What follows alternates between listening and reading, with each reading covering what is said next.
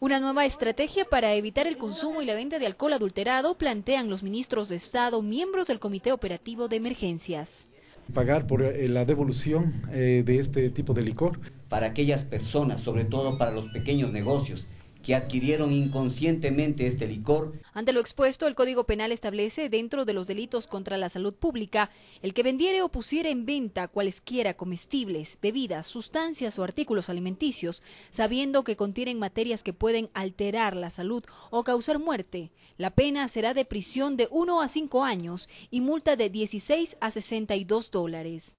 Las autoridades han establecido un plazo de 10 días para la entrega voluntaria de licores contaminados con metanol.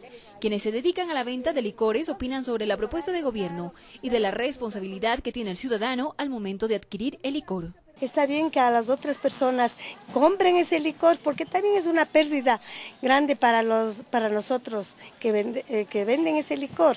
También tienen que tener un poco de conciencia y no tomar lo que quiera. Por barato toman cosas que les hace daño. Por higiene y más que todo por salud. Es que siempre prefieren tragos baratos, entonces ahí está pues el licor chiviado. Dentro de la lista de bebidas alcohólicas que no deben ser consumidos y que dieron resultados positivos con alto nivel de metanol, se encuentran las marcas Vino Tentador, Lima Limón Fiesta, también como Papelito, Vino San Roque Moscatel, Brandila Lai, Vino Z1, Tres Marías y San Francisco.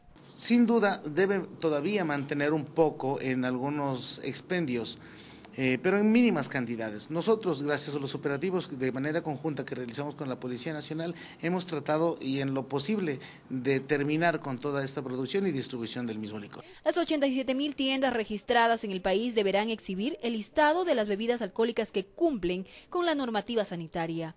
El detalle del procedimiento para remunerar a quienes devuelvan el licor adulterado se conocerá este miércoles. Diana Jacome, Ecuador TV, su televisión pública.